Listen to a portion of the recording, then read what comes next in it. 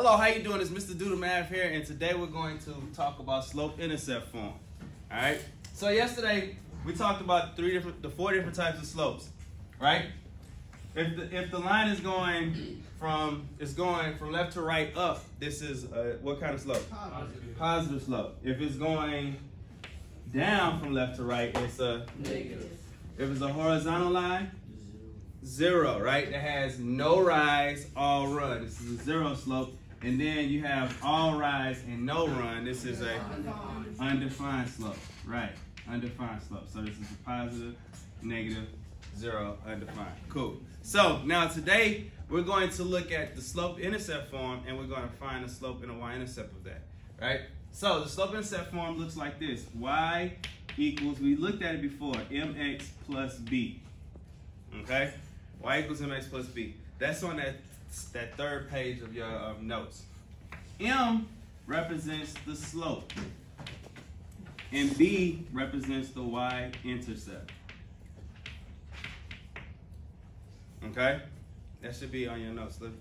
Let me see. I'm gonna use yours since. Right. So the linear the linear equation written in y equals mx plus b form is in slope intercept form. That goes on the line. The slope of the line is m. This is right this on your line. And the y-intercept of the line is b. Okay? That's what you're gonna write that on. Right here, in this space here. What does the m represent? The slope. And what's the y-intercept? B. B. Right. So there you have it. Right. Is in what form? Slope intercept form. Okay. So yes, sir. What's at the? The which the Is the y-intercept of the line. Right. Oh, the the uh, the slope is the first one, and then the y-intercept is the second one.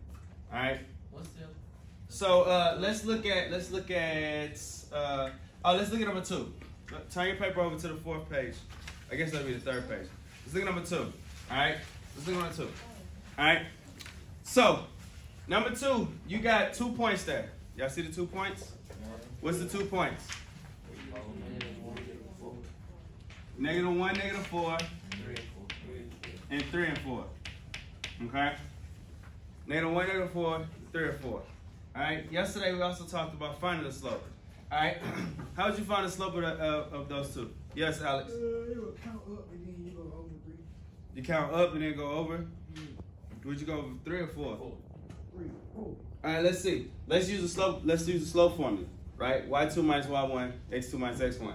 What's what's uh, Y two in this problem? Uh, four. Four. Where's Y one? Three. one? That's Negative four. Right. Right. And then uh, X two, Negative one. three, and negative one. Very good. Alright? Minus minus means plus, right? So you're gonna get eight here. Minus minus means plus, you're gonna get four. Eight over four can simplify to be what? Not one half. Two four. Two. Two over one. So it's two. The slope is two. Right?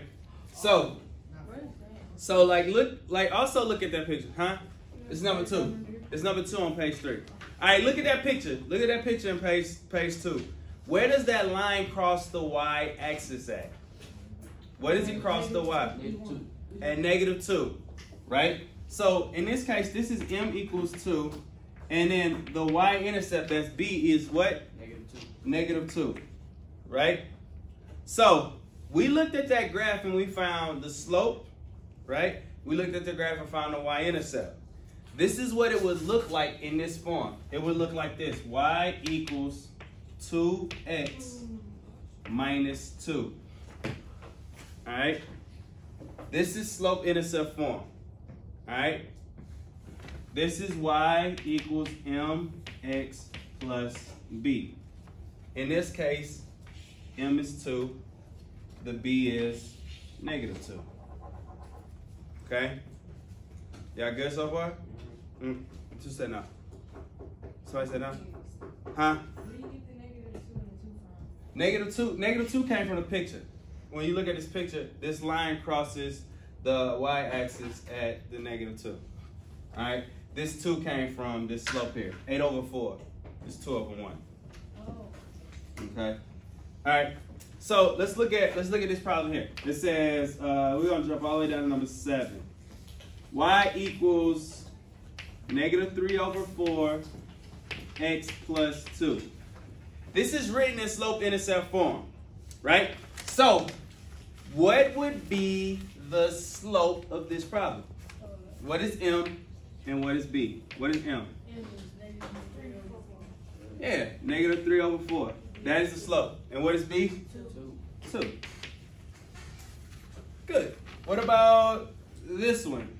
Y equals 5x. M is the five.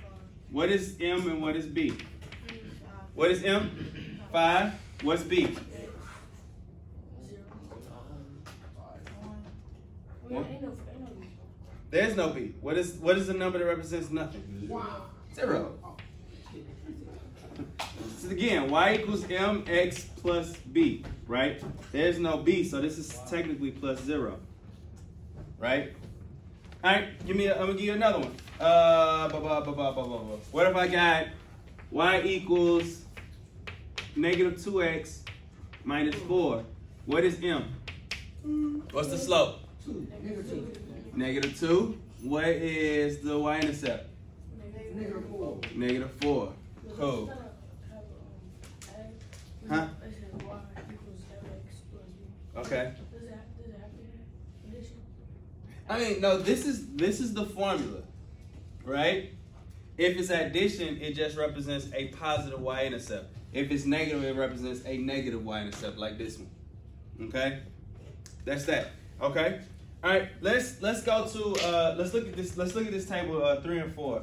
Oh no no no. Let's look let's look at number six. All right. So we're gonna write the equation in slope-intercept form. Right. So let's look at number six. Number six is written out like this. 6x plus 4y equals 24. Okay? 6x plus 4y equals 24. Right? We need to write this equation. What's the what's the uh, what form is this in right now? Yeah. Well, what's the, what's this form? Wait, I'll say Very good. This is in standard form. How do you know it's in standard form? Yeah, well, Put it up offline. huh? Put it up, uh, it's a little problem. Hey, yeah, Alex, help us. it's like, you give like, I don't know how to explain it, but like, I don't know how to explain All right, Charles. We got six x plus four. We got Yeah.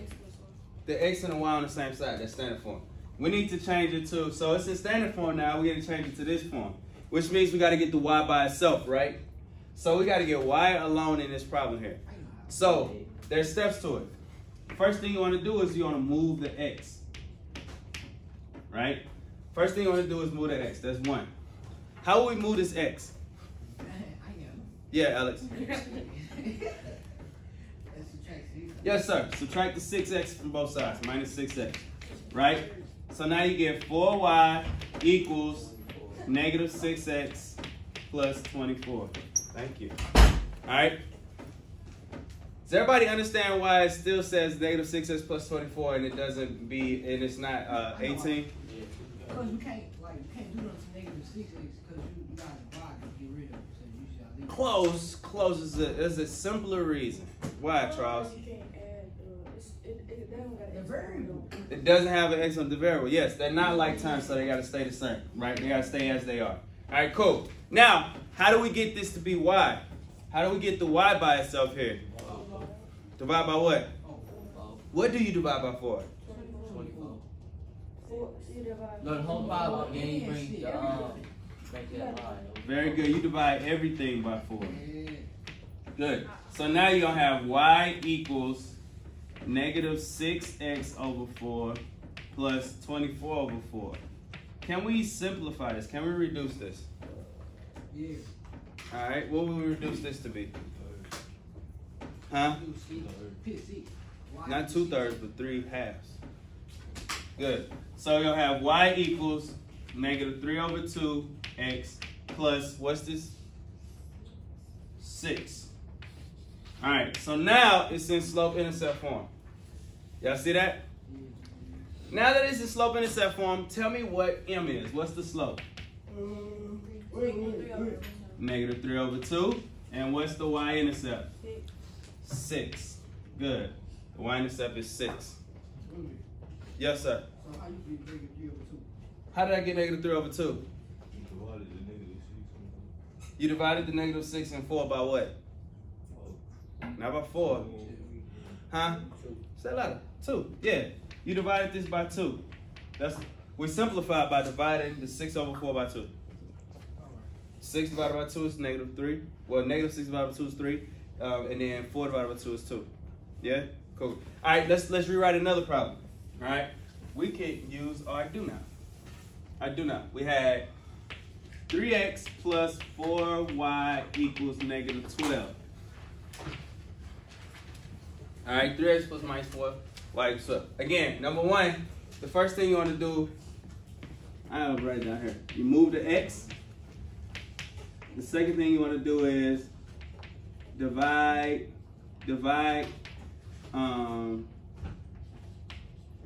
divide by the coefficient connected to the y, the number connected to the y. All right, so the number connected to the y, right? And then from there you simplify or reduce. Simplify. All right, so cool. First thing we're gonna do, move the x. How do you move this x? Minus. Minus what? Three X. Minus 3x. Bam. So we got 4y equals um, 15x, right? No. No? Twelve. 12? Negative Negative twelve. Okay. Cool. What's the next play? Divide by the coefficient connected to the y. Divide by 4. Do we divide just this by 4? Everything by 4. So it's going to be y equals negative 3x over 4 minus. Oh, okay. Alright, so look. The, the slope is what? X. Y. Is Y. Oh. Huh? Three. Negative over 4. You'll need the x for the slope. And then the y-intercept is Three. negative 3. When y'all work that problem out, y'all got the y-intercept was negative 3. Cool? Y'all got that? How we feel? All right, fist to five. I got it. Oh, I ain't got it at all. This is foolishness. Micah, where you at? How you feel? All right, cool.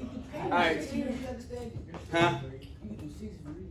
If you six, if you really understand it. Yeah. Cool, cool, cool.